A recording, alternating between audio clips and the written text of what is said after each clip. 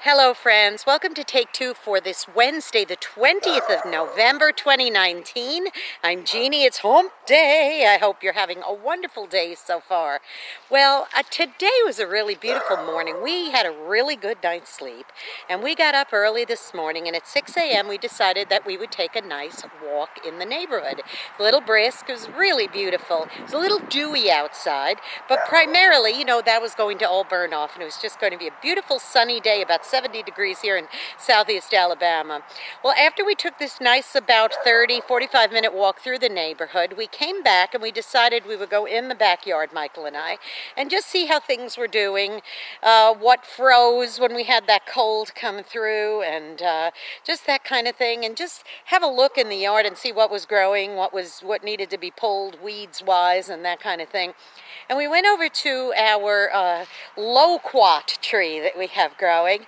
Now this is a tree that uh, Michael planted, and uh, and we also have a um, pear tree that we planted.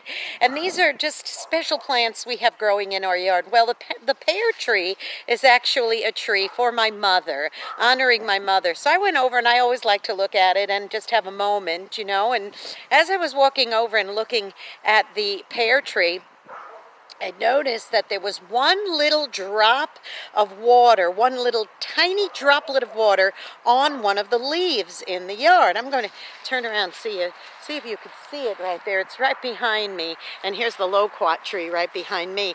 But uh, that little one droplet of water, I said, isn't that amazing, Michael? That one little droplet of water, who would just seem rather insignificant, has a purpose. It has a purpose. Perhaps it'll serve as a spot of refreshment for a hummingbird going by, or maybe it's for a little bug, or maybe it's going to be something that uh, a little tiny insect of some kind can bathe himself. I don't know, but or maybe it's just there for uh, uh, being um, something to help the plant grow, help keep the leaf green and fresh. Whatever the reason, one tiny little droplet of water served its purpose. Do you see where I'm going with this, boys and girls? Sometimes we think that our tiny little insignificant contribution to something doesn't serve any purpose. But the fact of the matter is, if a tiny droplet of water could serve a purpose, what things that we could do, what words of encouragement we could share, what simple little things that we could do, tasks in this world, even the tiniest thing, like maybe saying thank you to somebody, or just being polite, or doing a kind gesture or a smile, that one tiny little thing like that droplet of water will serve a purpose. Likewise, and I don't want to be a Debbie Downer here, but likewise, if you do little tiny things that are discouragements, they serve a purpose too for bad. Let's serve tiny little purposes today, all throughout our day, especially this home day, all for good, so that we could give somebody a lift to their life today, okay? And maybe even do something constructive. Now, I'm going to encourage you to go out and be a blessing to somebody today.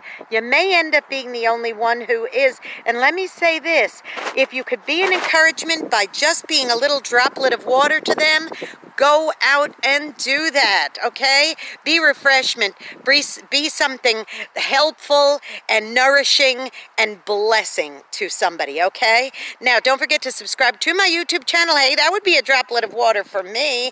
Go to my YouTube channel, Jeanne Sigler, J-E-A-N-N-E-S-I-G-L-E-R. Hit the um, notification bell, hit the uh, subscribe button. You'll be notified every time another Take Two is posted. Okay, I love you all very much. Now, listen, you take care, and I will see you tomorrow. I love you all very much. Bye-bye.